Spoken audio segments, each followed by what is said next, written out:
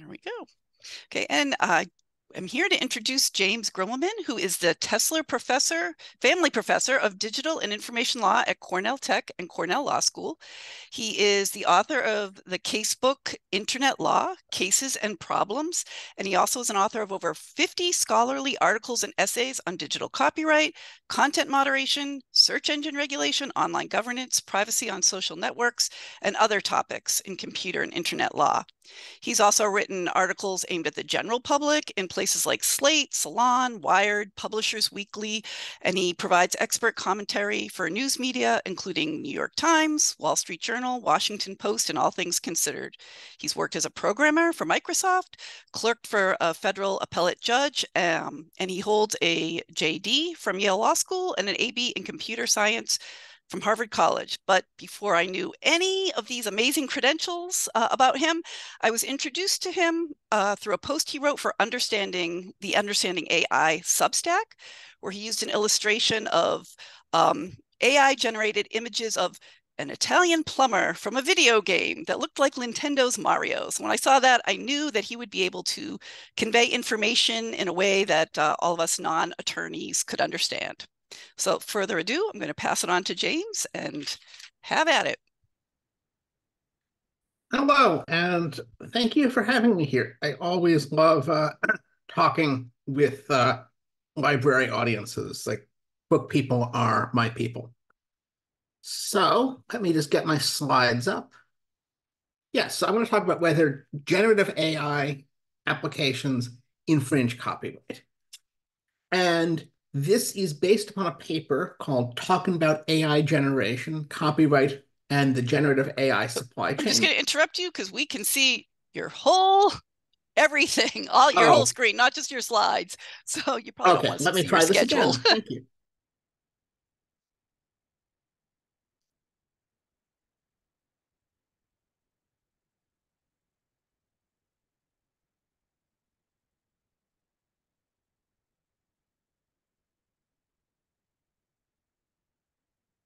There, is that better? That's fantastic. Okay, I'm sorry about that. Let me start again.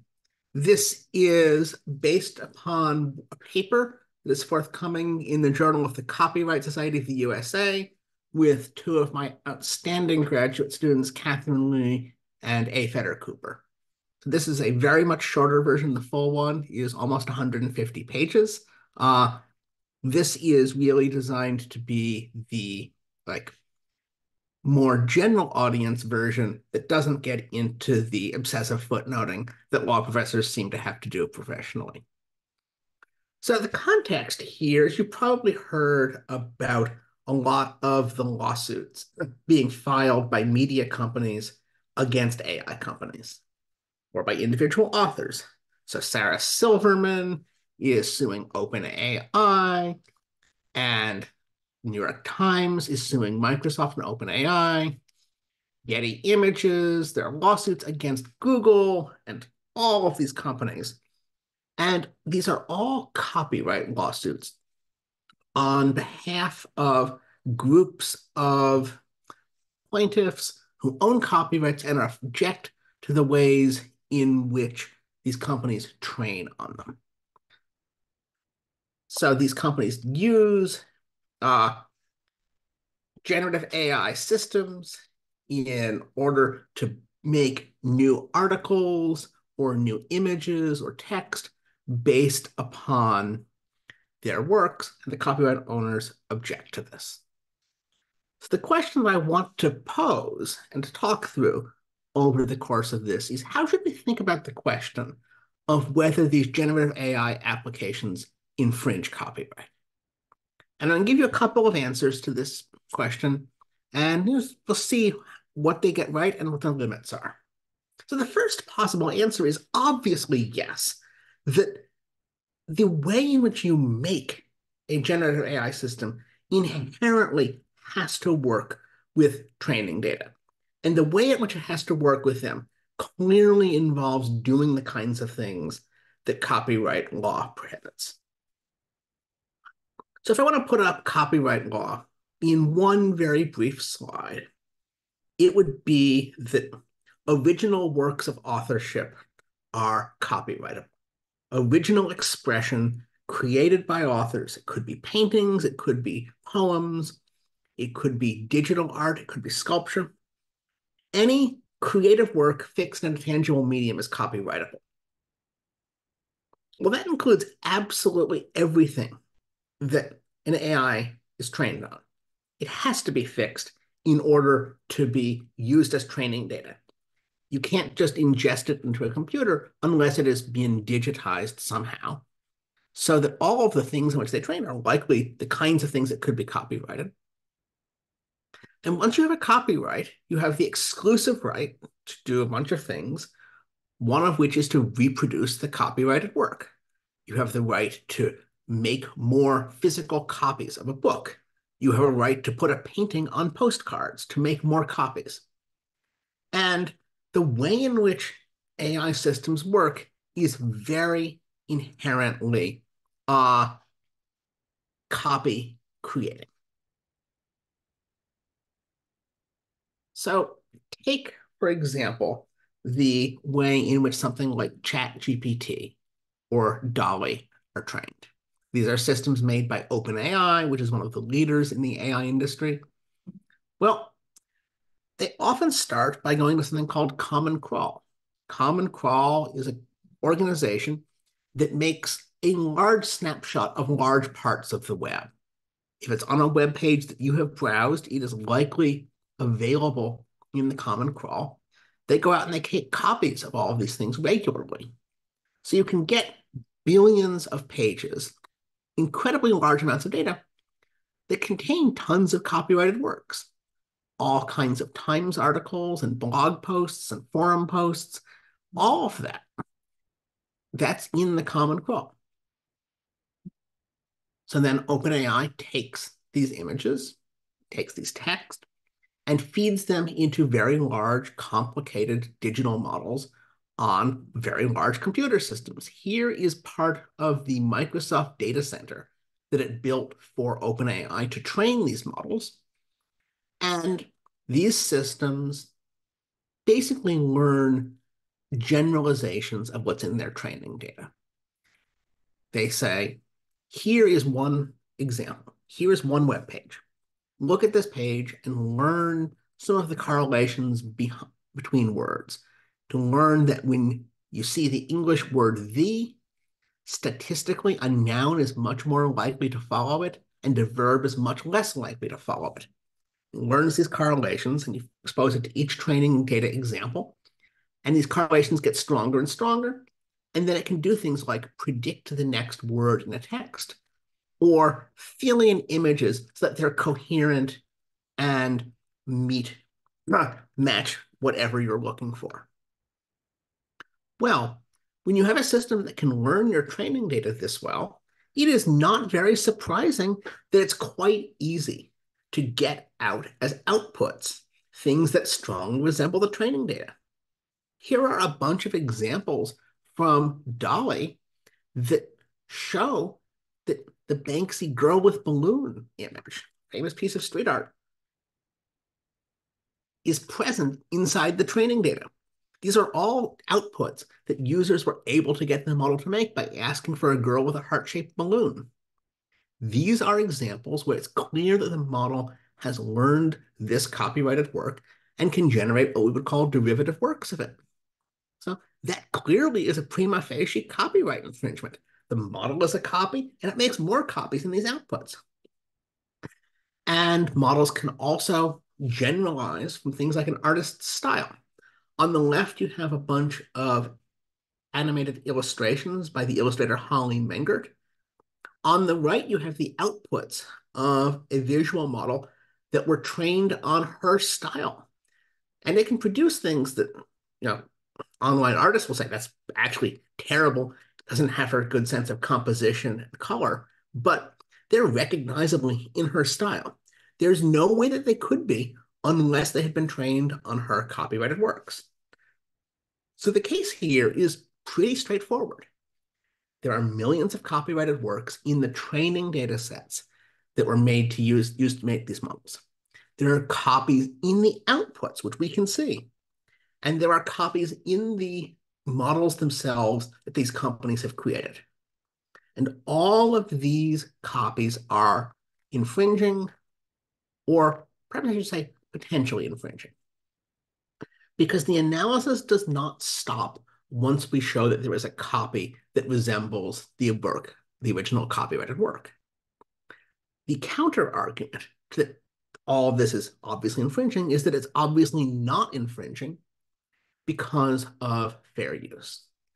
And so I probably don't need to belabor the definition of fair use for a library audience, but just to remind everybody that fair use is a general purpose defense in the Copyright Act that allows uses of a work that would otherwise be infringing based upon balancing four factors, which include, very importantly, the purpose and character of the use and the amount used.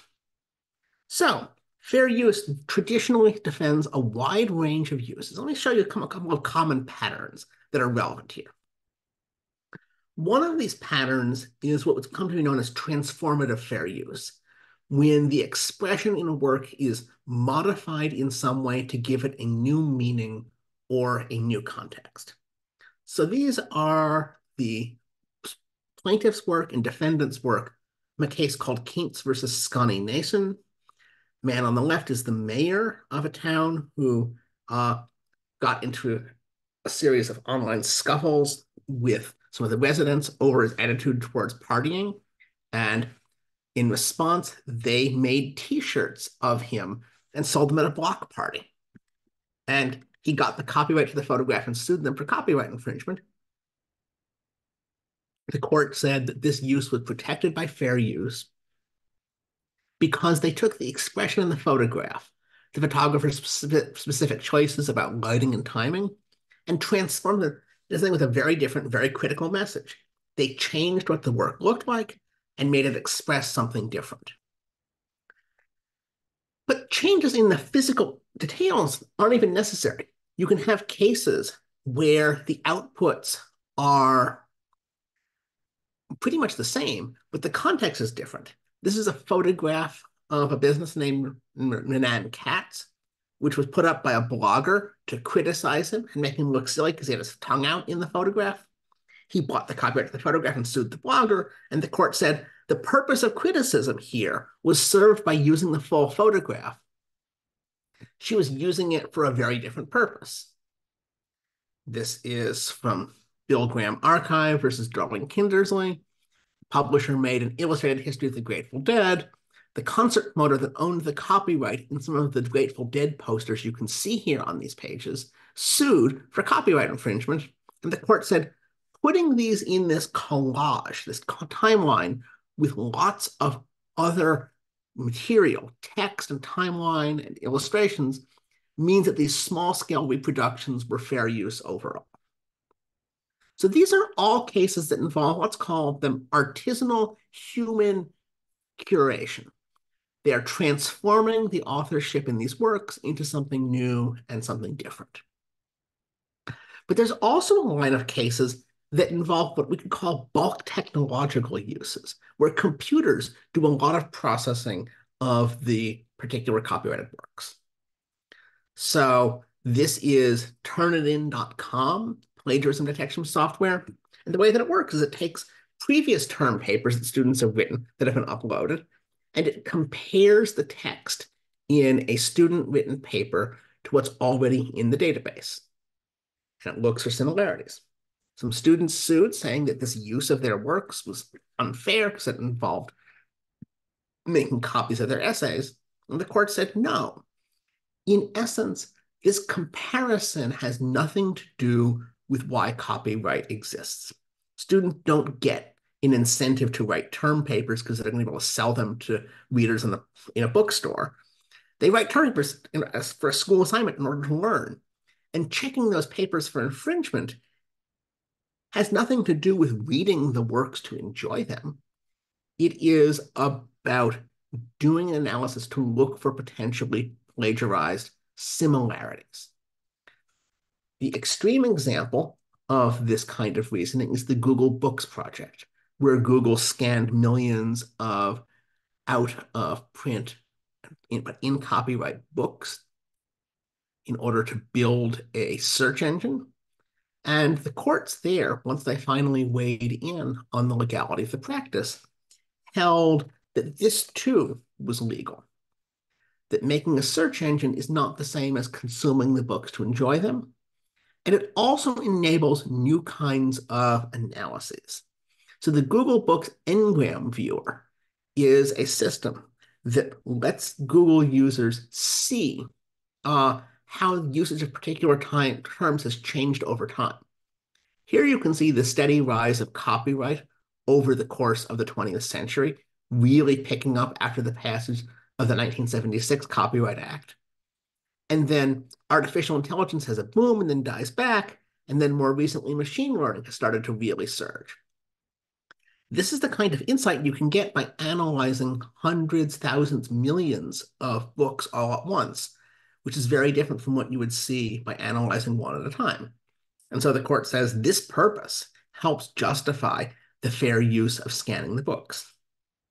So the AI companies and their academic defenders put these together and say, you've got two transformative, two fair use approaches converging here. The outputs of a system are often transformative fair use. They are remixing and recombining the works they were trained on in interesting ways that make them provide new messages for the people who use them. And on the input side, building a training data corpus is a fair use in the same way that building the Google Books corpus might be. It's an input into a process that produces new insights, but the process itself doesn't compete for audiences with the author. And as for the machine learning models, the systems that AI companies create, maybe they're both non-expressive and transformative. They certainly recombine works in new and surprising ways that produce really interesting new art. And they might be non-expressive too, because it's a technological process.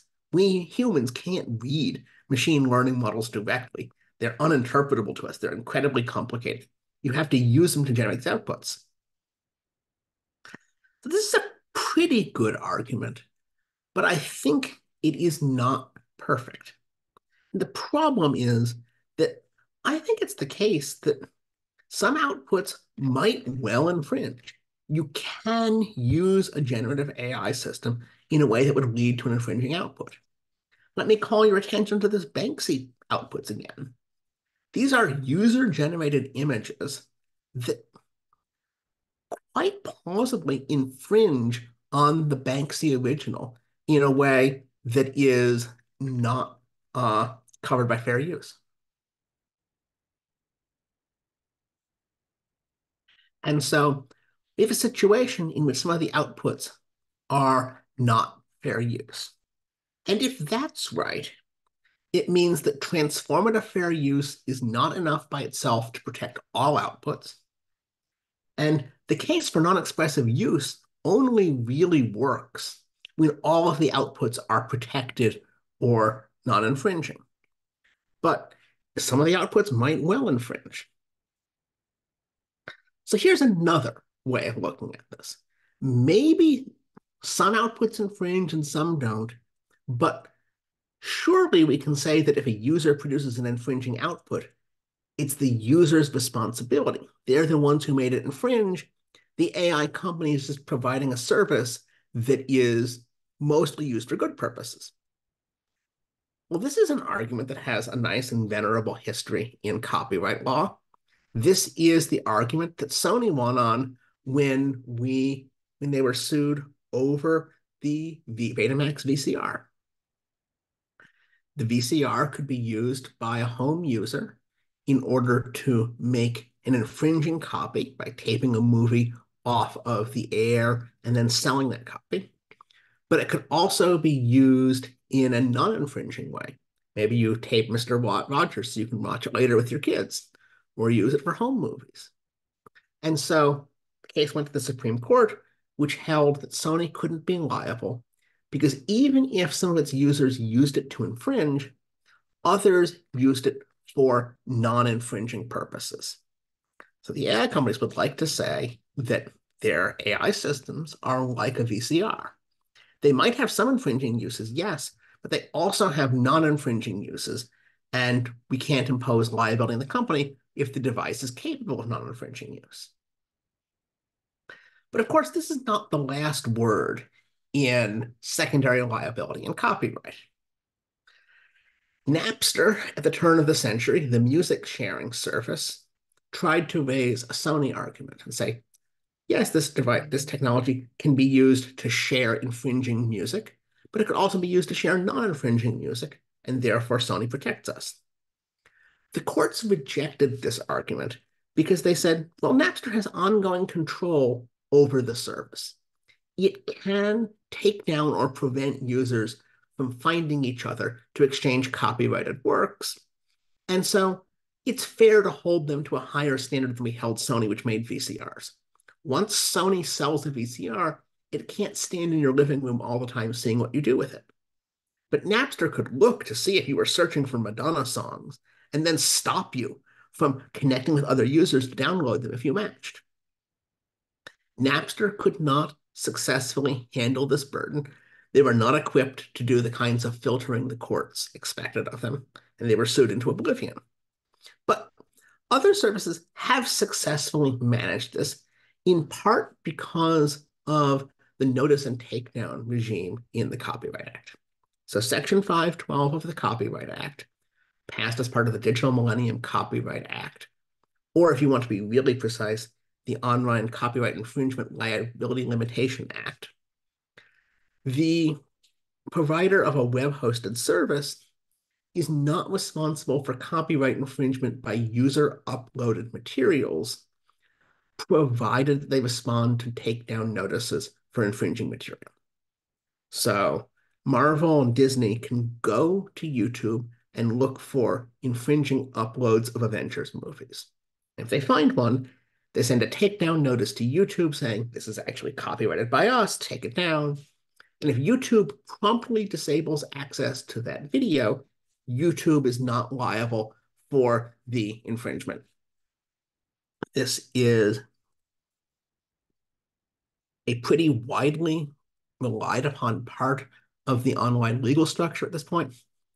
And it's a kind of compromise between the interests of copyright owners and the interests of technology companies. The copyright owners do get a system to force takedowns of infringing uploads, but YouTube can continue to exist as long as it honors those takedowns. It means some infringement takes place, but there's a procedure by which copyright owners and technology companies and users negotiate the details in specific cases. It's not on YouTube to find and remove all infringing works preemptively. YouTube's responsibility is to respond once a copyright owner goes through the notice and takedown process to call a specific infringing work to its attention. So acting only when it receives notice. So we might ask, why not apply a notice and takedown process to generative AI? Why not say, okay, OpenAI, when you run ChatGPT, you only have to stop infringing generations of works in the style of Dr. Seuss if somebody sends you a notice saying this infringes on the copyrights held by the Seuss estate. The system works in a online hosting context, but there are a bunch of problems that means it probably doesn't work as such for generative AI services. The first problem, the kind of thing that lawyers would point out uh, and others might gently mock them for, is that this isn't actually what the law says. The Copyright Act talks about material uploaded by users. That safe harbor doesn't really fit a generative AI service, where it's the AI company that ingested all of these copyrighted works to start with. They're the ones who made the choice to train on Banksy and on Hollie Mengert and on Dr. Seuss and on all of the other authors whose works are included in their training data sets and models. So there's no statutory authority for such a system right now. And it's not easy to see how a court could find its way to recreating that whole system on its own. But even if we said to Congress, okay, amend the law to create notice and takedown for generative AI companies, it's probably not a system that's workable here. And the reason is that AI technology is much more complicated than your simple web hosting. And it's complicated in ways that make it hard to police. So on the one hand, copyright owners can't easily find infringing works. It's not like Banksy uh, or Hollie Mengert can just go to DALL-E or to Midjourney and say, show me all of the works of mine that you've trained on. Show me all of the outputs that look like my works. They don't have a list. You can't just search them the way you search YouTube to find all of these, which means relying on copyright owners to send takedown notices gives them a much harder lift than they have in the context of online file hosting.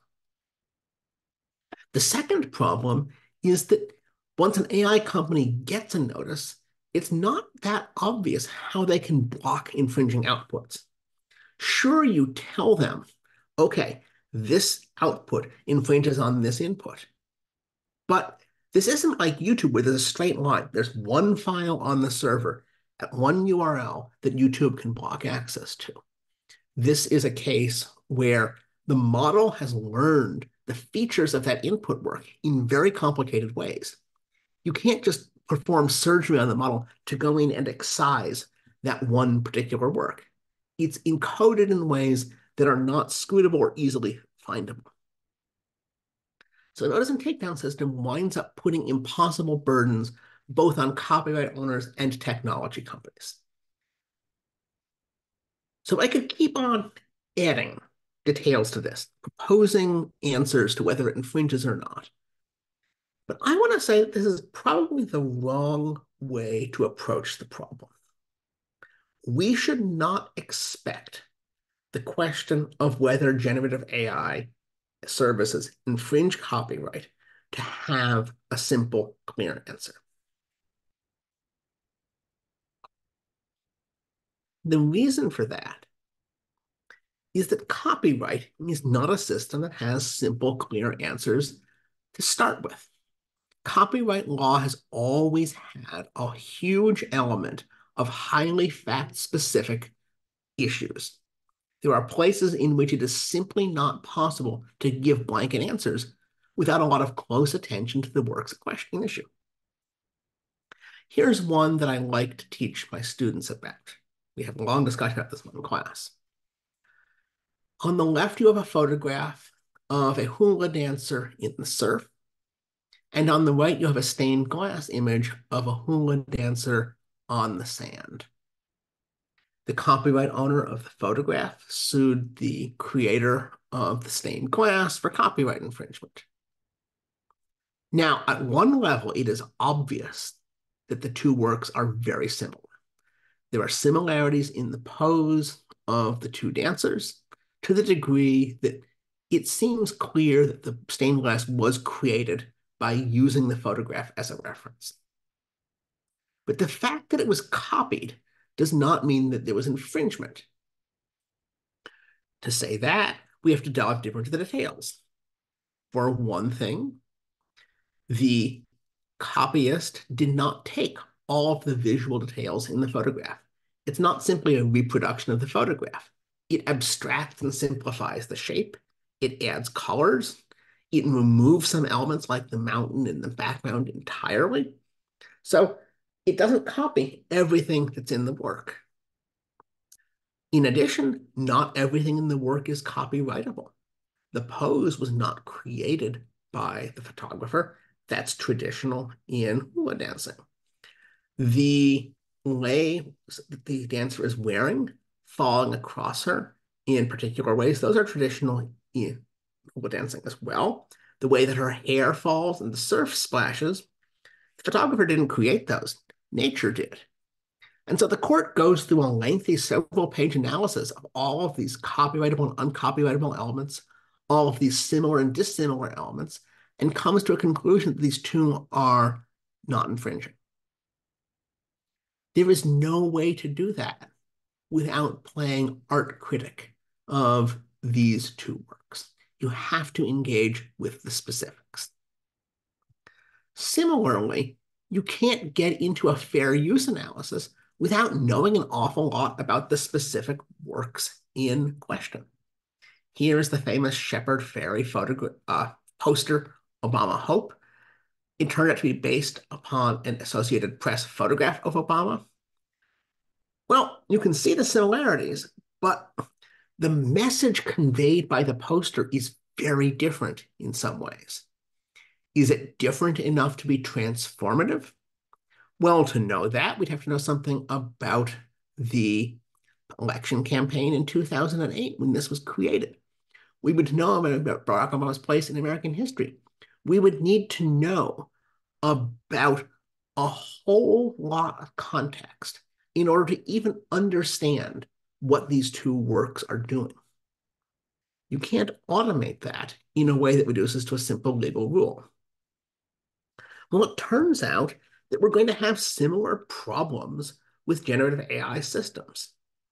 For example, here are a pair of images from a paper showing that some image models memorize specific photographs in their inputs.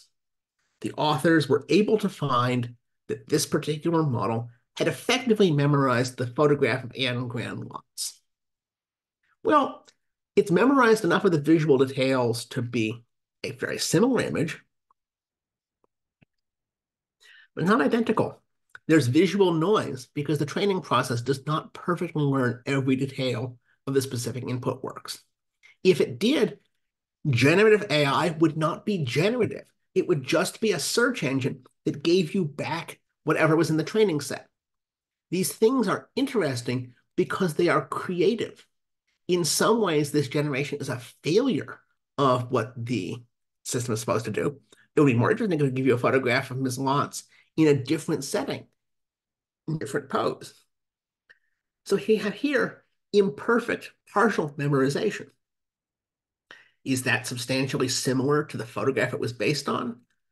We can't say without doing a full substantial similarity art critic analysis like we did for the hula dancer.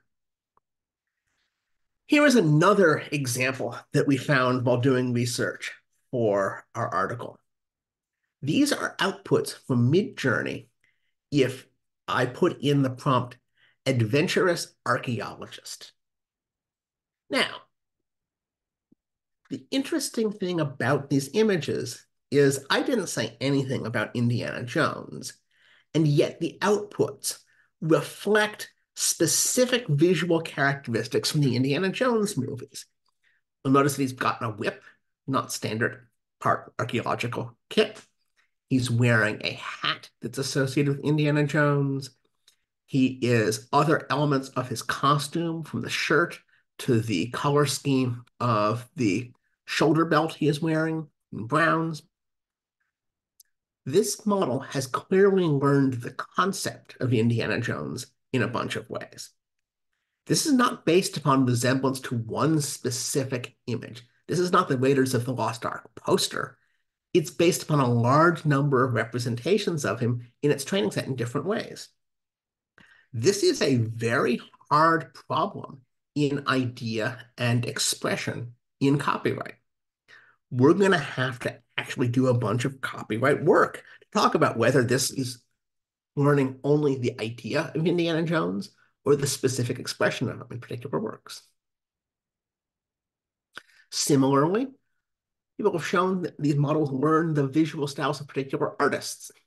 So here are DALL-E replicating the visual approach of famous photographers, Dorothy Lange. This is a question in copyright policy. To what extent is an artist's distinctive visual style protected, even if the particular defendant's work does not closely resemble any specific work that it was trained on? And finally, I want to add that the Supreme Court has recently scrambled this in ways that make it hard to get general answers out. The Andy Warhol Foundation versus Goldsmith case decided this term really puts pressure on these approaches. So the backstory here is that Lynn Goldsmith, the photographer, took the photograph of Prince on the right for a magazine article. And then Condé Nast wanted to produce an article about Prince as a tribute. And they went to Andy Warhol and asked him to take to make a illustration. Goldsmith's photograph was provided to Warhol as an artist's reference, and it was licensed and paid for in that capacity. And they took one of the images, he produced an image of Prince which ran with the article, and that was all fine, except that Warhol had made 20 prints uh, as part of this series. He had put, uh, given one image of them to Condé Nast, others remained in the collection. Eventually, they were sold to collectors. And then when Prince died, Condé Nast came back to the foundation, asked to license the original image again, but they said, hey, we have this other other ones in the same series of prints. Would you like to look at this print of Prince? And they selected this orange one instead. Goldsmith sued. The case goes to the Supreme Court based on whether this is transformative fair use or not. And the Supreme Court holds that it was not transformative fair use, uh, or rather remands for the court to consider it under a test that makes it fairly clear that it's not. And the part of the opinion that I think is really relevant here is that the court emphasizes that fair use is use by use. It's not that this orange print of Prince is necessarily fair use once and always will be, or isn't, but rather it might be fair use when Andy Warhol makes it in his studio. That doesn't confirm or deny that it's fair use when Prince sells this one single edition print to a collector. And it doesn't tell us whether or not it's fair when that image is used as a cover for a tribute issue. Those are three separate uses. Well, that suggests that making a model could be fair or unfair. It's an independent question whether any particular output is fair or unfair when the model produces the output which is a different question from whether that use is fair or unfair when used.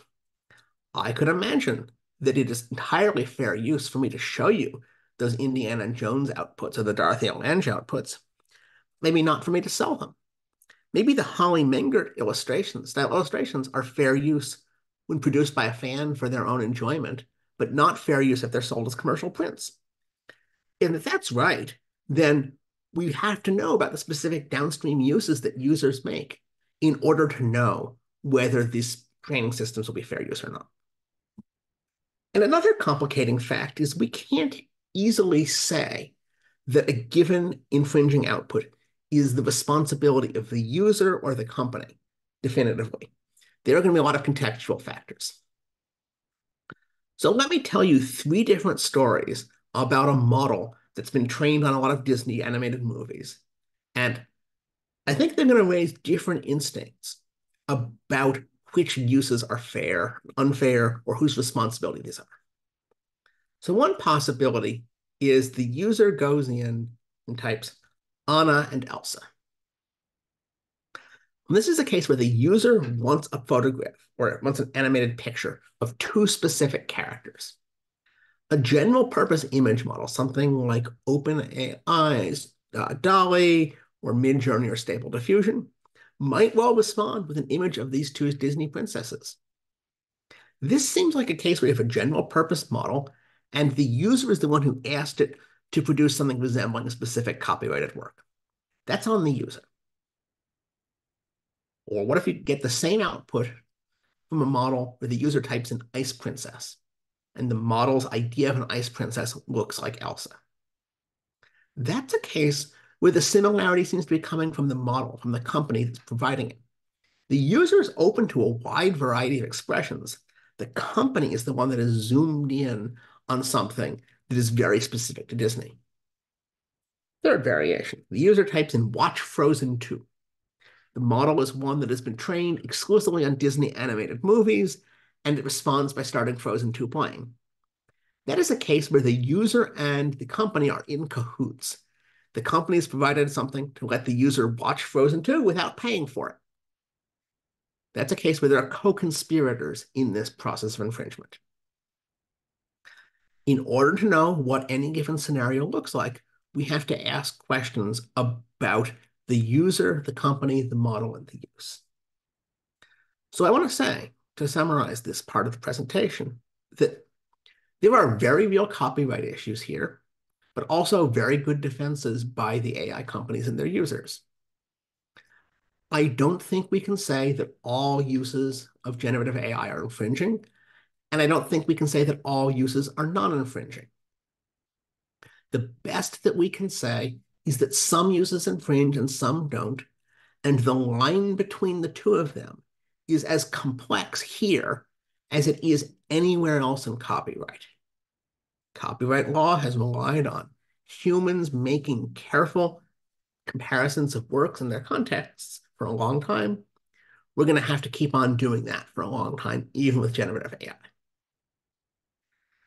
So I want to conclude by zooming out and asking, where does this put us in the history of the copyright system? Because I have been talking about copyright infringement by generative models. When they are used in these ways, do they cause infringement? But the other question we can ask about them is the authorship question. When they are used in these ways, do they create copyrightable outputs? So here is an example of a work that's been controversial. This is Zarya of the Dawn, a graphic novel written by Kris Kashtanova and illustrated using uh, illustrations generated by Kashtanova using Midjourney. They sent this to the Copyright Office, got a registration, and then the Copyright Office found out from publicity that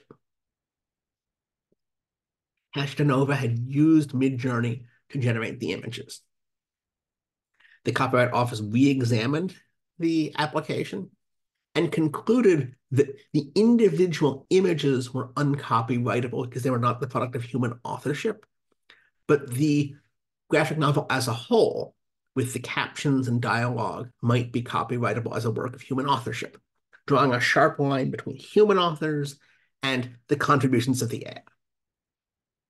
This is a very big question, and it's not clear how our current copyright system which is based upon works of human authors, should deal with this. A Chinese court recently found that an AI-generated work was copyrightable, although in that case, it leaned heavily on the fact that the user had very carefully crafted a specific prompt and gone through a lot of work to generate a work using those details. I want to suggest that this is larger even than the question of whether generative AI fits into the definition of an author. We might be on the brink of a really large transformation in copyright. And the reason I say that is the last technology I can think of that had this much of an impact on the copyright system was the printing press. Before the printing press, you basically have a system of patronage or sponsorship.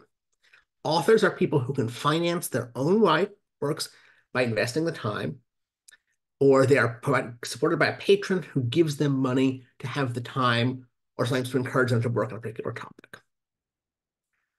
They print their works by having them hand copied in small editions that are passed around.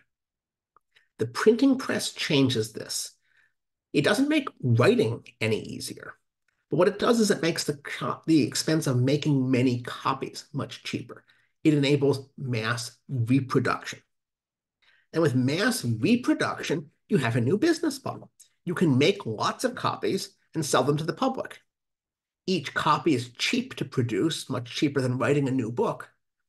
And so therefore you have a business model in which the author incurs the high fixed cost of spending time writing a book, but then can sell lots of copies that are made produced cheaply and sell enough copies to the public to support their work. This new business model is, however, vulnerable to other people with their own printing presses who can take their book, retypeset it, and then distribute that to the public. That's a system that generates a need for copyright law. Copyright law prohibits the second printer from coming in and undercutting the first printer. Well, the copyright system takes about a century and a half after the printing press to arrive. Copyright law is a response to this huge shift, made a new business model possible, and that business model was made possible because the cost of reproduction, of copying, went from high to low. Generative AI drives the cost of creation down. You can put into Midjourney something like adventurous archaeologist and get out one of those images I showed you earlier. That's an enormously easier task than generating those pictures from scratch would have been. It's driving the cost of writing, of illustrating down. And we might say that these versions aren't as good as what's produced artisanally by humans who have more artistic judgment, but there's still going to be an awful lot of it kicking around. We are moving from a world in which creation is expensive and copying is cheap into a world in which both creation and copying are cheap. It's quite possible that the legal system that makes sense for that world will be as different from copyright as copyright was from what came before it. That's my talk. I would be happy to take your questions now. Yep. Thank you very much, James. Um, we do have a few questions already in Q&A. I don't know if you can see those, but um, all right, then you can go ahead. So let me start. Uh, number, the first one, fair use protects humans who use copyrighted work. Does it also cover machines? Isn't there something fundamentally different about how a human consumes, produces, and outputs content from how a machine does show? Maybe fair use shouldn't apply to machines yes, I think that this is a absolutely key issue that lies at the heart of these debates. I have an article from about a decade ago called Copyright for Literate Robots, in which I point out that a lot of these technological cases are based upon the idea that computers do these things that are basically not reading in the sense that the that the market is reserved for humans. Selling copies to humans is the thing copyright exists for. Um, if the uh, copyright system, however, wants to encourage these kinds of non-expressive uses, it should make them fair use. You're expressing the opposite instinct. Maybe fair use shouldn't apply here because they're not serving the same goals as humans. I think it's a perfectly fair argument.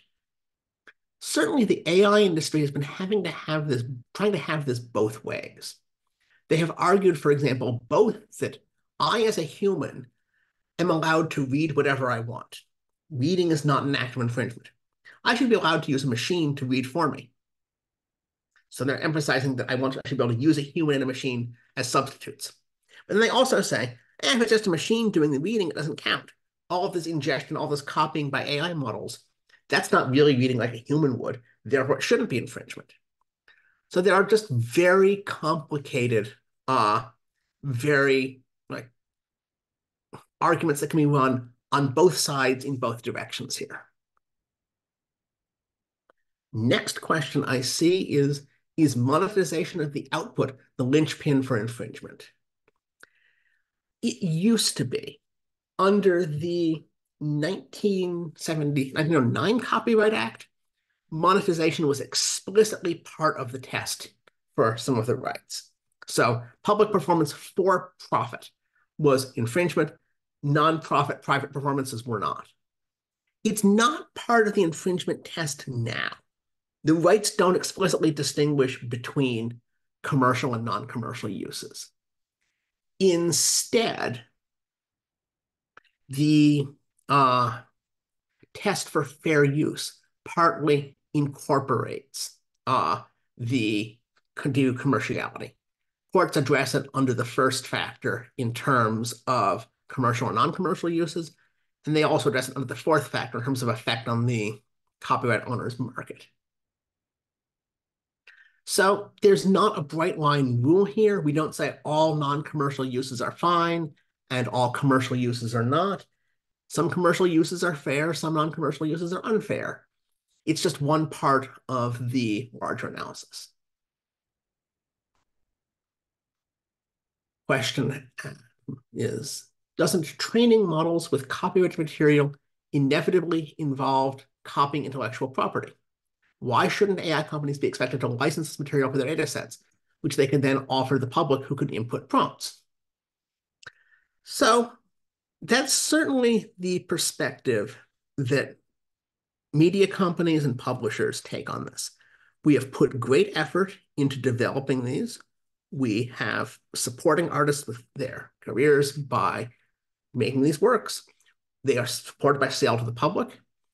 If you are making a use of this that generates value, why shouldn't some of that go back to the authors and publishers in the form of a licensing fee? The AI companies generally would respond to that by saying one of two things. One of them is that not every valuable use of IP or copyright is compensated. There are plenty of circumstances in which we allow people to use works that don't really result in licensing revenue. So, for example, web search engines, in a sense, rely upon lots of work with copyrighted works in order to direct people to where those works are. To, to, you have to read a web page and analyze it. You need to look at the contents. That involves making copies. It's a commercial process. But Google does not pay license fees to every website that it crawls. Instead, the courts have said this kind of indexing, making a search engine, is a fair use because it serves a valuable function. Which of these principles we should apply to generative AI is a complicated and controversial question. It's a policy question rather than one we can get out simply from the text of the Copyright Act.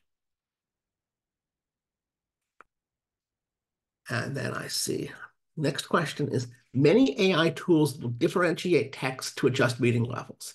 Is using this breaking copyright?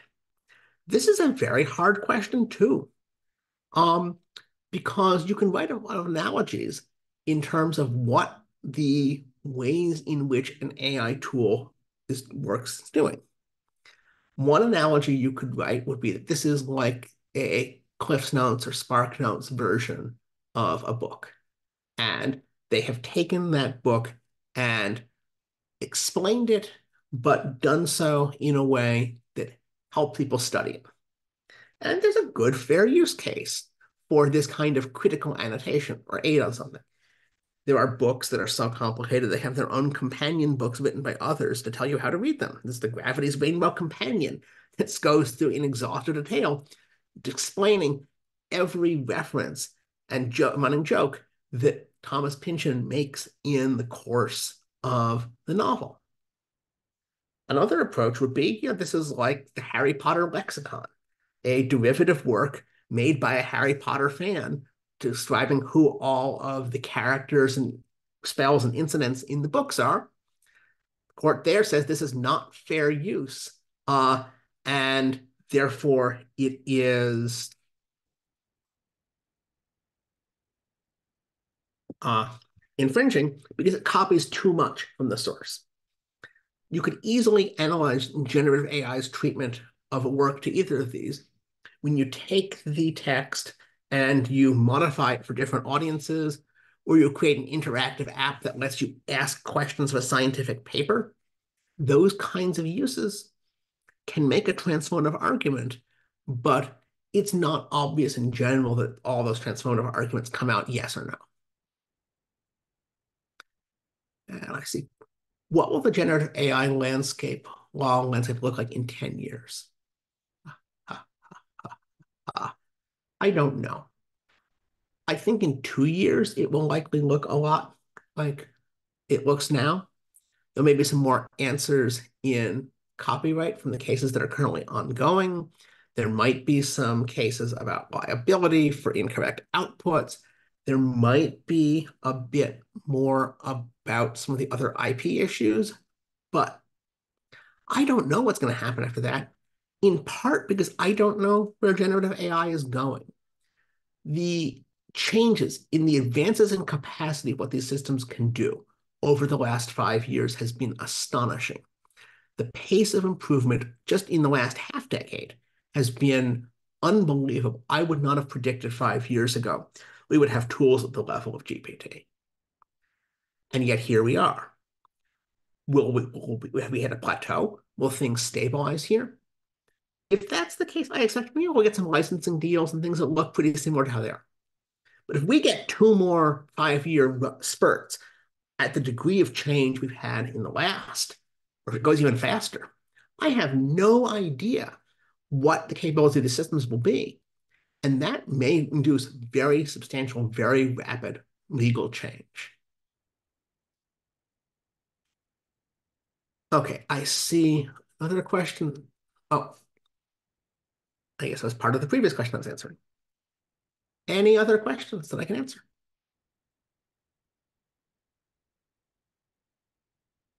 Ah, would asking the AI models to be more transparent about their data sets assist the process, training the tools to cite the sources it used? So I think there are two things here we could ask for. One of them is simply getting the companies to open up more about their training data sets. I think that would be an extremely good thing. The companies mostly cite trade secrecy for not revealing what data they trained on. They want to keep their training data sets secret from their competitors. Other people can't make good models. But I think it's not a great reason in the face of public policy here. And the European Union's AI Act, in fact, is going to require uh, companies to disclose more about what's in the data sets they train on. I think this is a good thing. It helps copyright owners find out when their works have been implicated. It helps regulators understand what scope of data is being used, and it helps people know when there might be privacy risks from this training. The second thing that this model could be asking for would be having the AI model itself explain what sources it's relying on in a particular answer. This is called uh, attribution in the technical literature, or sometimes it's called, you have cases of retrieval augmented generation. The idea there is you're trying to say, I want this output to be based upon particular inputs and tell me which inputs they are used. This is a very active area of research, and a lot of companies are working very hard trying to get their models to produce clear, grounded answers that cite specific sources. I don't know if it's at the point where we can legally require this to be the case, but certainly the case this is where companies are trying to go in terms of developing better models. Because sometimes you want very fanciful, imaginative outputs that are different from anything you've seen before. But sometimes you want very grounded inputs that tell you this is where I got this information. This is what it says. People who are working on generative AI for law, for example, really want it to be grounded. You don't want your tool to hallucinate the authorities you're citing in your brief.